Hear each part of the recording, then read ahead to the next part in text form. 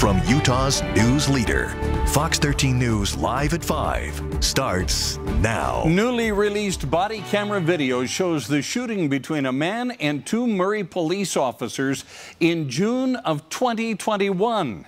The suspect was killed and an officer injured. Fox 13 News reporter Emily Tenser asked the district attorney why it took so long for his office to investigate. The district attorney says this investigation took longer than usual because of a slew of shootings that summer. Plus, they had to bring in more expert analysis. After a year and a half. Can I talk to you for a sec? We just to talk first. You gotta talk, talk. The Salt Lake County DA's office has come to a conclusion on this deadly officer involved shooting. Hands so I can see him. Oh, I don't want to go. Don't run for me. Don't. I'm hit.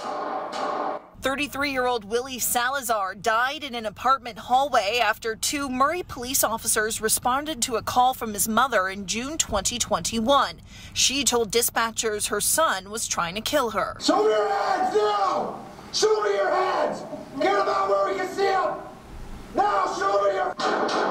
In those nine seconds, Salazar fired a shot. The officers fired nine. Four at the beginning, two after the first officer was shot, and then three more when Salazar was on the ground. It was really critical for us to make sure that how do we evaluate those sequences? Salt Lake County District Attorney Sim Gill says investigators were concerned one officer fired his gun while the other was instructing Salazar to put his hands up. We could not prove even on that third incident there, that it was unreasonable. Salazar's gun was found over 14 feet away from his body. Evidence suggests it could have been thrown before the last five gunshots. However, investigators determined there's no evidence the officers knew the gun was no longer with Salazar and they will not be criminally charged. We wanted to make sure that we had a, also an outside subject matter person take a look at it, so it took a little bit longer time. The first officer was shot in the leg but was treated for the injury. Gill believes both officers are still working with the Murray Police Department.